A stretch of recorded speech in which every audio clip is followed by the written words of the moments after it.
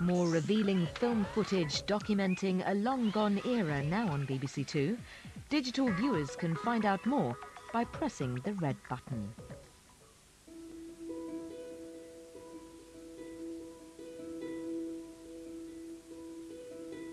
This is Bradford on Thursday, the 10th of April, 1902.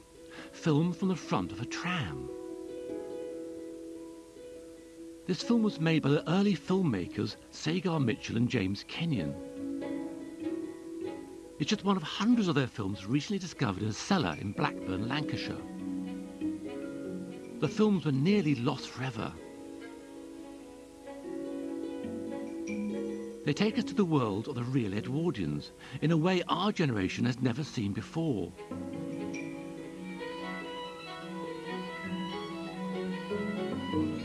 Will find out who these people were and what their lives were like.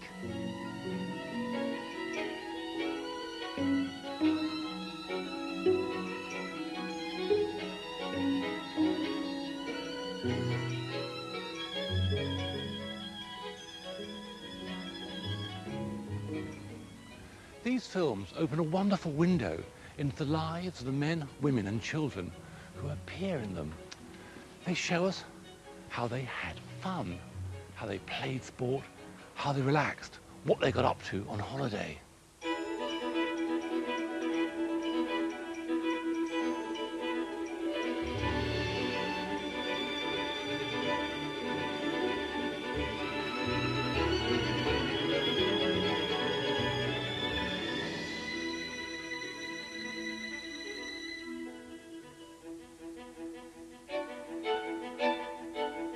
Mitchell and Kenyon shot these films at the dawn of the 20th century, they captured the essence of the times. Industry was going at full pelt. People were in work and so had more money than ever before. For the first time, they actually went on holidays and had half a day off each Saturday. They even had spare cash to enjoy their leisure. Life in the cotton mills and industries about the country was looking up. It wasn't Mitchell and Kenyon's aim to make an historic record of Edwardian life. Moving film had only recently been invented. They weren't in it for the sake of art. They did it to entertain and to make a profit.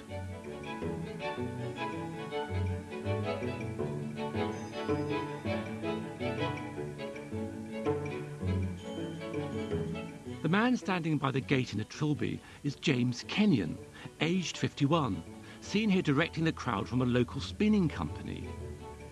He'd already made a living from cabinet making and penny in the slot machines, where he was known as a quiet, retiring man.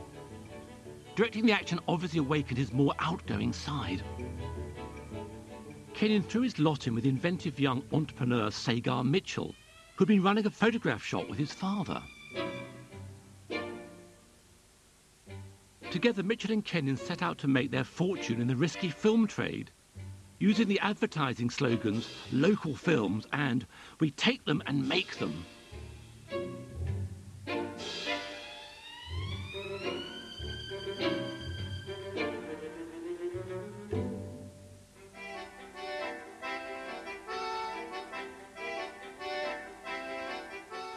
Until the late 1990s, only a tiny handful of Mitchell and Kenyon films were known about.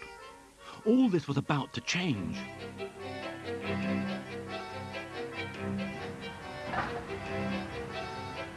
Builders were stripping out a shop when they discovered three metal churns in the basement full of old film. They were about to dump them in the skip. At the last moment, they handed them over to local film enthusiast Peter Worden. He realised immediately that this was a forgotten treasure of Mitchell and Kenyon films. He stored them carefully before donating the find to the nation.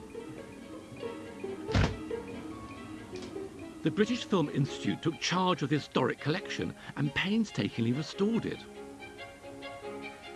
It took three years, but now the results are amazing. 100-year-old films with hardly a scratch. Many as clear as the day they were shot. This film shows a football match. Well, there's nothing to identify the teams, the date, the location of the game, beyond what I can glean from the image itself. The two teams, well, one has um, shirts with dark vertical stripes, whether they're blue, black is red, impossible to say. The other team has white, white shirts. Must be something here to inform me about what's going on. Ah, shot a goal.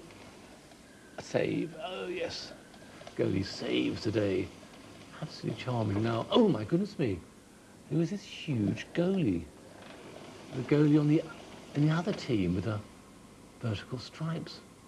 Huge fellow. Ah, oh, this is wonderful. He's taking a kick from goal. Here he goes, and he's running up.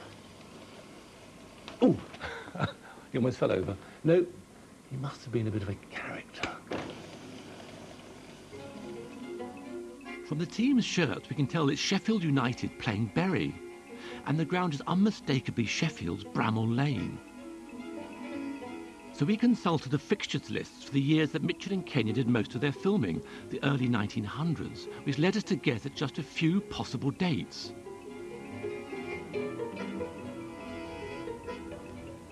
We went to the British Library's newspaper collection to check up on these. Some Mitchell and Kenyon films were well labelled with a date and a place, but others, like the Sheffield football films, are a bit of a mystery.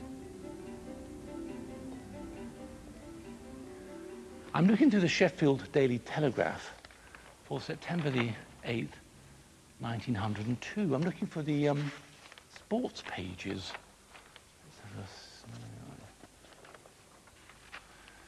Ah, here we are. Football.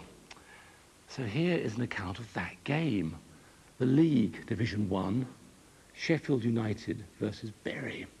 Cup holders win a poor game who are the cup holders? Let's look at the results. Ah, Sheffield United won, Bury nil. So Sheffield are the cup holders who don't play very well. Now, who was that astonishing fat goalie? Here's the teams. Sheffield United. Oh, okay, here it is. In goal, a chap called Foulkes. Mr. Foulkes, the fat goalie. So that astonishing large man was called Foulkes. John Garrett's family have been watching Sheffield United from the club's earliest days, and he's an avid fan himself.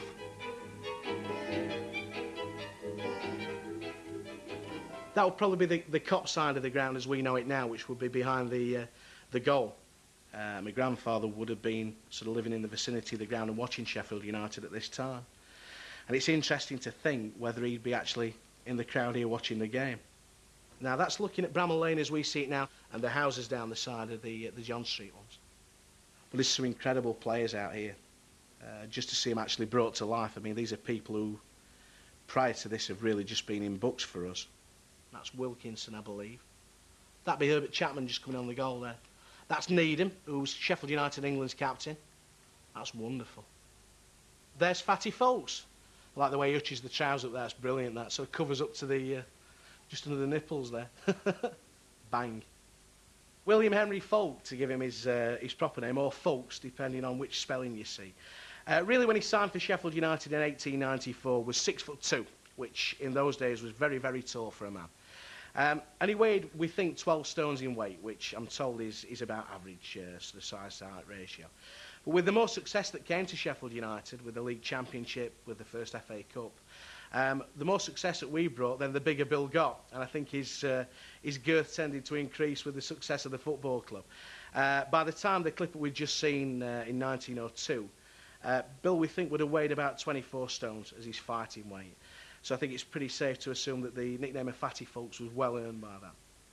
But legend has it that although he was 24 stones in weight and 6 foot 2 in height, he was as agile as a cat.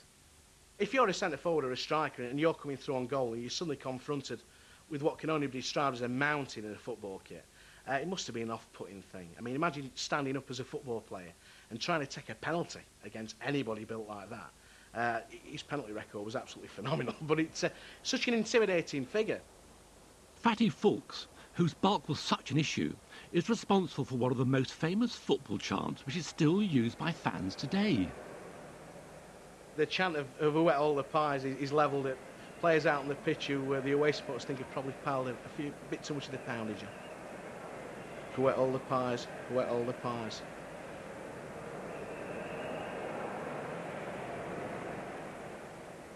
If you want to put you fat bastard in there as well, you can do, but I wouldn't advise it.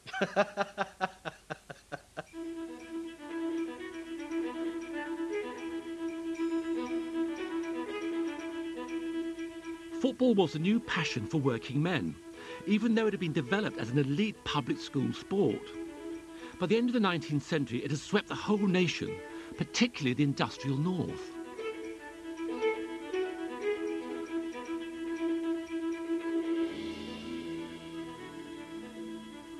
The reason why the football terraces shown in the films are so full is because working hours had been reduced. Most workers now had Saturday afternoons off as well as Sundays so they could come and attend the games. In addition, wages had been increased so workers could afford the minimum entrance fee of sixpence.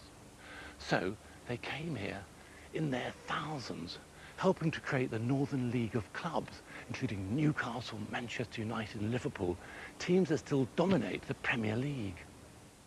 This scratchy, foggy film shows Burnley running out of the Players' Tunnel. But forget its quality. This film is a world exclusive. The second team is Manchester United.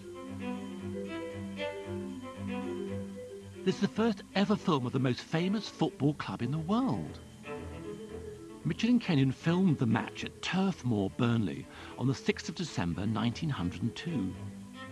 Manchester United are in their darker shirts, red as today. Burnley in lighter green, before they changed their famous claret and blue. Manchester United are playing in their very first season as Man U.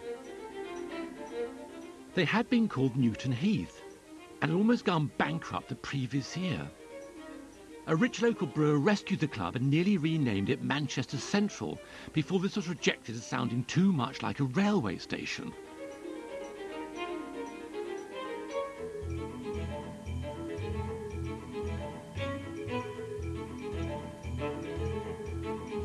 Film was meant to be shown at the Burnley Mechanics Institute that evening. But Manchester United won 2-0, so the film was suppressed. The showing cancelled. The film has never been seen by an audience until now.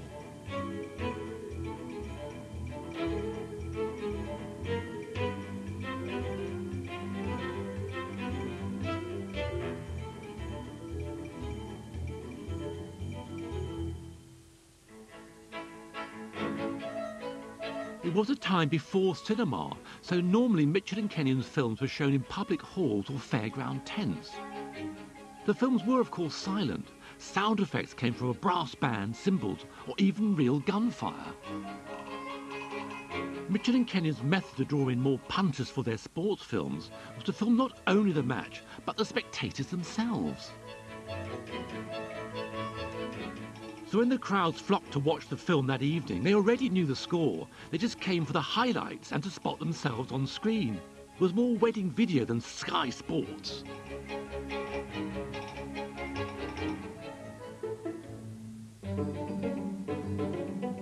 The problem was that Mitchell and Kenyon often failed to capture the best action in football and rugby. This film of Hunslet versus Leeds leaves a lot to be desired. The filmmakers needed a lot of light to film, and since kickoff was sometimes as late as 3.30, it often grew too dark in the winter to film the second half. Floodlights had been invented, but weren't widespread, so this film is pretty murky. And their equipment was clumsy. Cameras and tripods were heavy and stiff, so more often than not, they simply missed the main events. The final score was 16-0 to Hunslet, but Mitchell and Kenyon missed it all. Spite of these problems, Mitchell and Kenyon sports films lay down a formula which is followed to this day. They filmed the player's entrance, the kick-off, the halftime entertainment, and the mascots.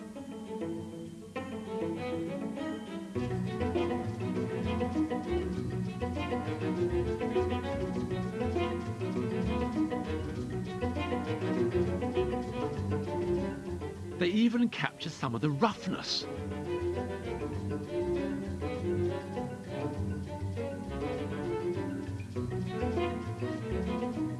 Films of over 100 games of football and rugby were found in those rusty basement canisters, including up-and-coming football clubs like Newcastle United,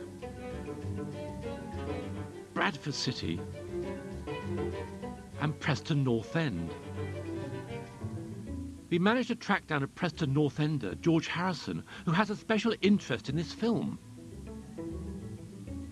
Is Wolverhampton coming out? On their own? Unusually, usually both teams come out together. They do nowadays. Here we come, Preston. My granddad. Leading, leading him out. But it's a funny feeling seeing a young granddad. yeah. Uh, well, uh, quite chuffed about that. Feel quite proud that he was my granddad. And, you know, reach what he did doing football. I mean, he, he reached international status, which was a tremendous thing in them days. George's grandfather, Peter McBride, is the man carrying the ball. He had been scouted from Ayr United as a young man, then happily settled for the rest of his life playing on Preston's Deepdale ground. Here he is playing Wolverhampton Wanderers on the 19th of November, 1904. Look, some young lads in that team.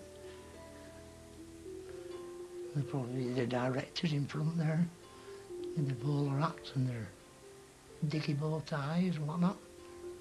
One thing you don't see now in a crowd at a football match, that's cigarette smoke drifting up from the from the ground. Obviously, we know it's not allowed nowadays to be smoking on football grounds. Then we've got all the kids jumping up and down in front of the camera. Everybody waving. None of the men that had moustaches in those days compared with now. Quite a lot. But mostly flat, flat hats. Occasionally you get bowler hats. I don't know whether they were the better class people or not, but the flat hats were working class, mill workers and factory workers. Oh. That looks like it was a penalty. The game ended in a two-all draw. For Mitchell and Kenyon, these films were hugely popular. There's always been money in sports filming. No surprise that they were soon outgrowing their shop in Blackburn. Not only were they busy making and selling their own films, they made extra money by developing and processing other people's films on the side.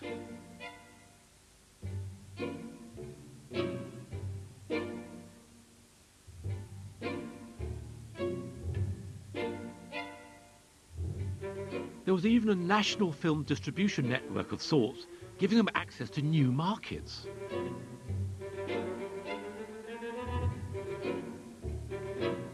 So in September 1901, they had to move from Mitchell's photographic shop.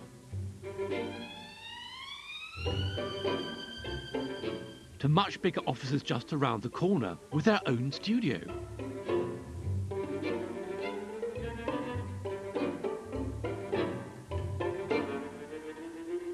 They could now offer a selection of over 300 films for sale.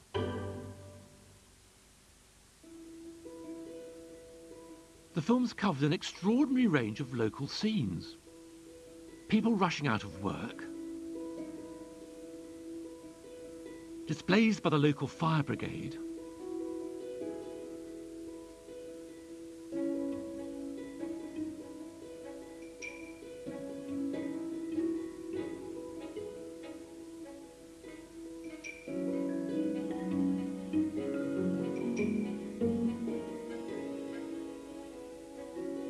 agricultural shows.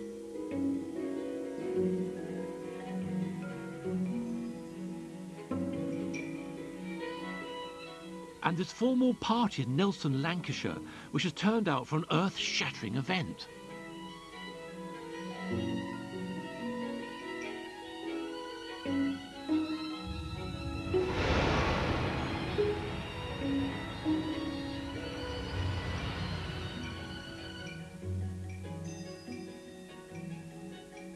Kenyon's film business was taking off, so did a new part of British life, leisure time. Sunday was, as ever, the day of rest. Here in West Park in Hull, it is a sunny Sunday in April, just after church. It is half past twelve, and the congregation's gaily showing off their Sunday best. And what Sunday best it is! The women have fantastic floral arrangements on their hats, and all possible care has been lavished on the children. The rich could afford to dress up, but for poorer people, their outfits might have spent all week in the pawn shop. On Friday evening, after receiving the week's pay, they would retrieve their smart clothes for the Sunday promenade.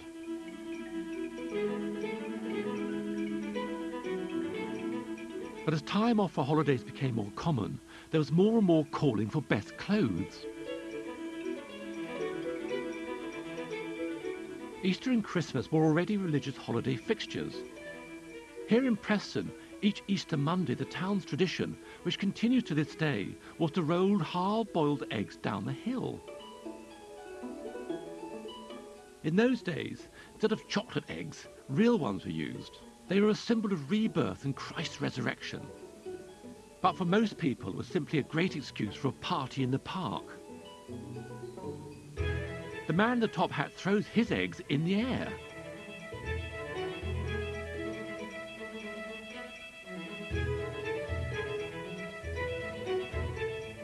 But these girls hold tightly onto theirs. Even the baby in the pram is showing off her egg.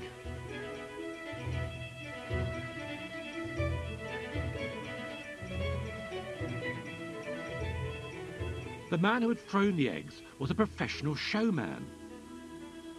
He was amongst 30 or so entertainers who commissioned Mitchell and Kenyon to shoot or develop films for them.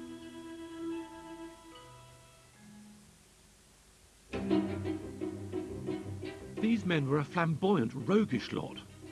As entrepreneurial businessmen, they were trying to make money from moving pictures. Mitchell and Kenyon in their new shop could offer the showmen everything they needed, so soon the place was buzzing.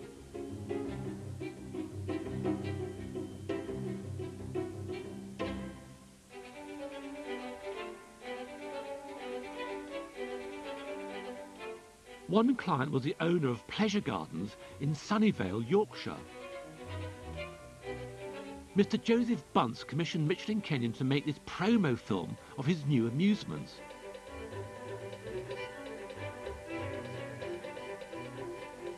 Both private and public parks had sprung up in Victorian times. They were immensely popular, providing fresh air and recreation in the middle of industrial cities.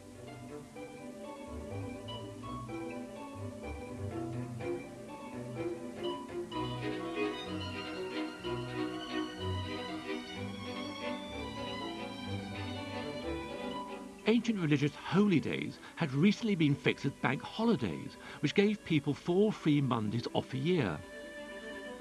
So bank holidays were the busy times. Up to 100,000 people came each year to have fun in Sunnyvale's leisure facilities.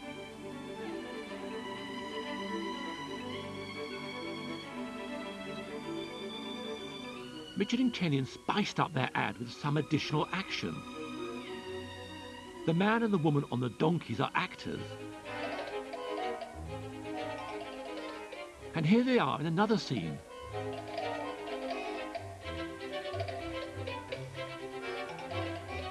In fact, she is a he. And Kenyon and the showman knew what really tickled the audience ten years before Charlie Chaplin hit the silver screen. Slapstick.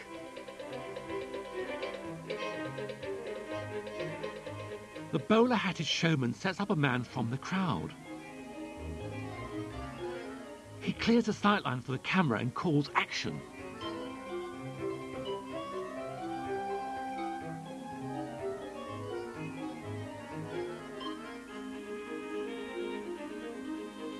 And here the showman and the topper tells his assistants to create a scene.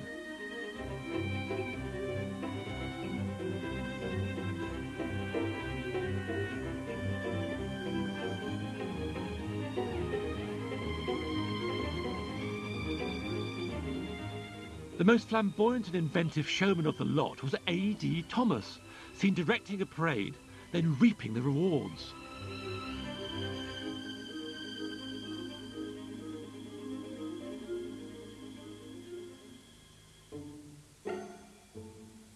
Mitchell and Kenyon were always on the lookout for new business opportunities, and in 1901, A.D. Thomas burst into their lives, ready to strike a deal for the two to develop his films.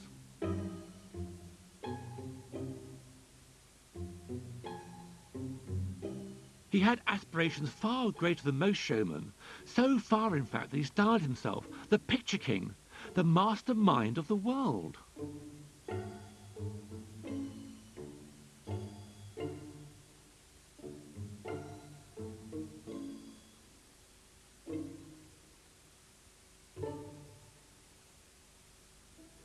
A.D. Thomas then decided to masquerade as one of the most famous inventors of all time, Thomas Edison, who created the phonograph, electric light, and maybe even the movie camera.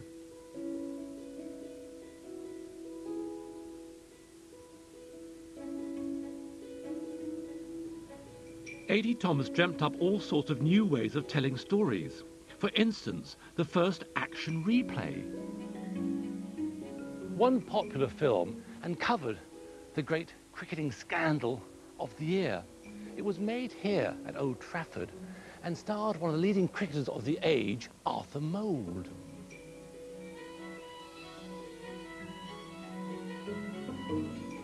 He played for Lancashire and was one of the most feared bowlers in the country.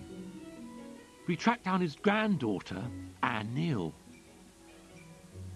I mean, to think that somebody filmed this all those years ago. You felt as though you wanted to go and say, Hi, grandfather. You know, I'm your granddaughter.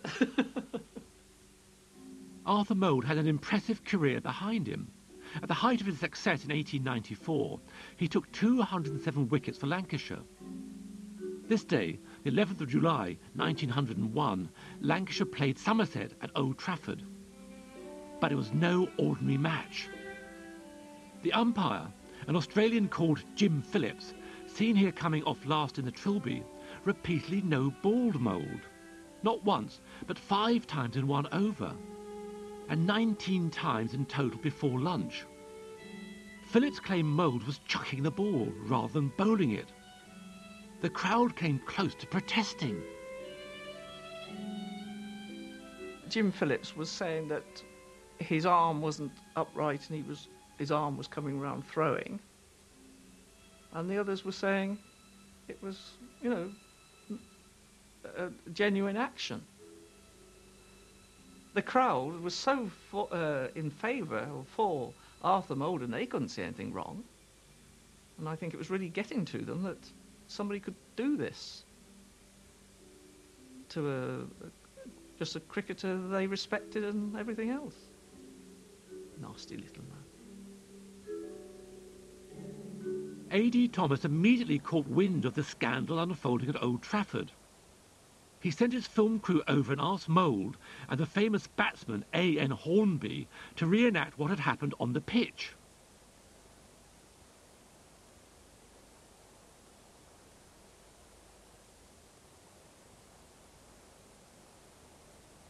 This bowling action to modern-day eyes looks suspect and too low. Mould's arm is not close to his ear, as it would be today. In fact, this was perfectly acceptable then. Until 1864, bowlers were not allowed to lift their arm above their shoulder. Mould's problem is that he's being accused of dropping his elbow, bowling with a crooked arm. It looks quite straight here. In Arthur's case, I think he was not guilty. Uh, proved by photographs, film. The Manchester Evening News decided the most interesting pictures confirm that Mold's delivery is absolutely fair. There's absolutely no suspicion of throwing. Even though Moles was exonerated in the minds of the public, in private his family knew the whole affair had left its mark. He'd had a great career. Uh, he'd taken so many wickets. It was, you know, people always talked about the wickets Arthur Mold had taken. And then, at the very end, that uh, an umpire should step forward and suddenly no-ball him at the end of his career. And I think it really saddened him. I mean, it's like a blot, isn't it? I could, I could feel for him, really.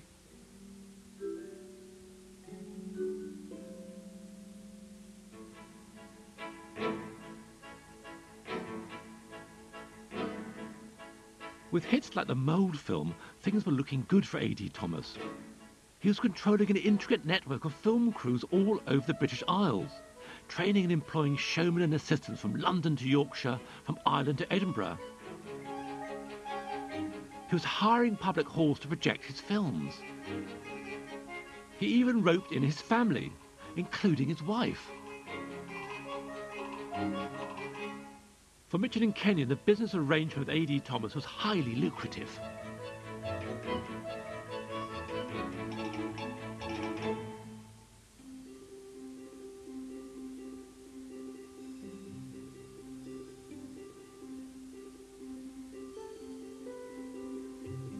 But they still made their own films, like these of the River Dee at Chester, which are also immensely popular.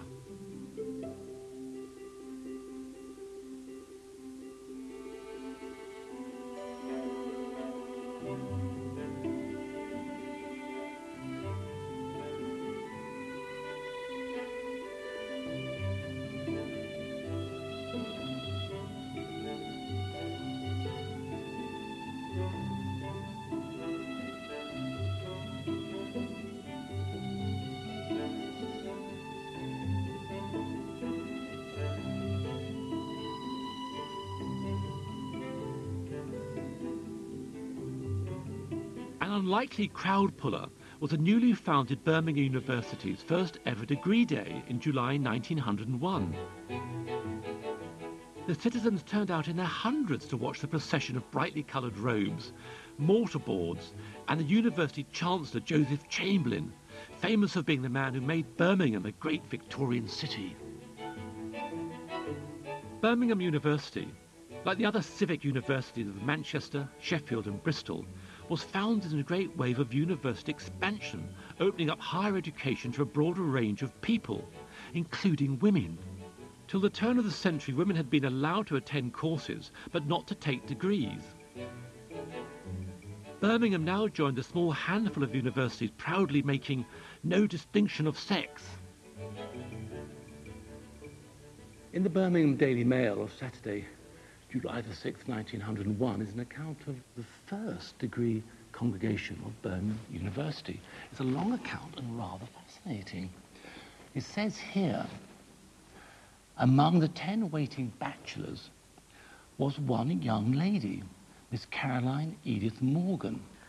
Gosh, um, it says here, she looked charming in her white dress and bright scarlet tie, only partially hidden beneath her black gown with its flying strings. With a slight blush and a merry smile, the first girl graduate, that's in capitals, gosh, it's so patronizing, um, of Birmingham University, mounted the steps and approached the Chancellor, who repeated the formula of admission amid the hearty plaudits of the great audience. One of the audacious students shouted the advice to kiss her. But the Chancellor discreetly ignored the somewhat disconcerting counsel. I was determined to track down Miss Morgan, using the national census of 1901 and then contacting the university. They sent a list of their first graduates, and here we find her. But maybe she got married and changed her name, because this is where the paper trail stops. Very frustrating. The future for educated women like Caroline Morgan held few options if they actually wanted to work. They could become school teachers or nurses, but professions like law were firmly closed upon them, and you must remember, it was another 17 years before women could even vote. The women's movement was on the march. Both middle class and working class women were pushing for work opportunities beyond teaching and caring. They were also demanding full political rights.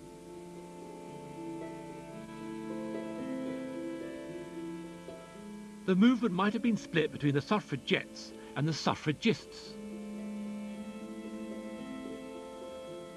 But all the activists, whatever their methods, dressed up in full Edwardian finery, flowery hats and flouncy dresses, to counter the accusation that feminists were unfeminine.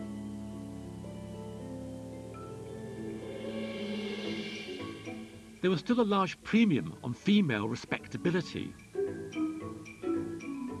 The Coventry Town Fathers used the annual Lady Godiva procession to boost their civic prestige. The medieval legend of Godiva rescuing the town by riding naked through the streets was reenacted each year. In the past, the parade of a seemingly naked woman had made the townsfolk gawp and leer. The London actress Vera Geddes was in the starring role.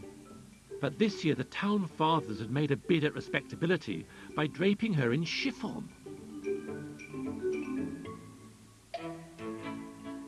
Sagar Mitchell and James Kenyon decided they needed assistance to cope with the increasing workload. They were taught how to crank the film cameras by hand, judging the right speed and the right distance, a tricky procedure.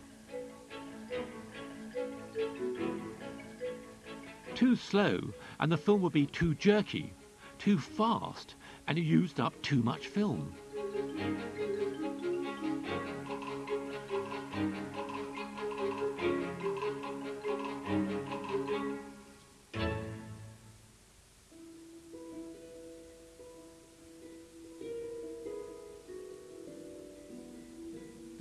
Exuberant carnival procession and Crewe was in aid of their local hospital. In the time before the distractions of television and radio, an enormous amount of effort went into designing the amazing costumes, dances and routines.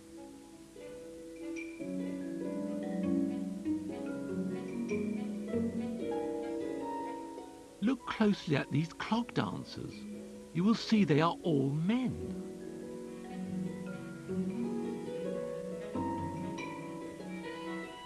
Carnival time for thousands of years, men became women, white became black, as the world was temporarily turned upside down.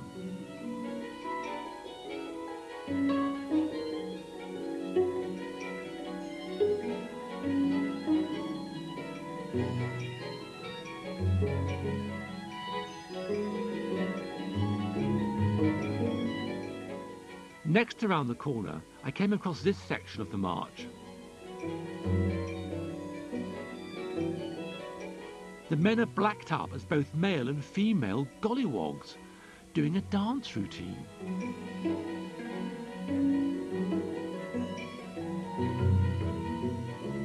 This blacking up craze stemmed from American music hall traditions of so-called coons and nigger minstrels. But of course the British Empire was multiracial. Britain still ruled a quarter of the globe, and the British attitude to non-white races was one of superiority. Black people were seen as a more primitive race.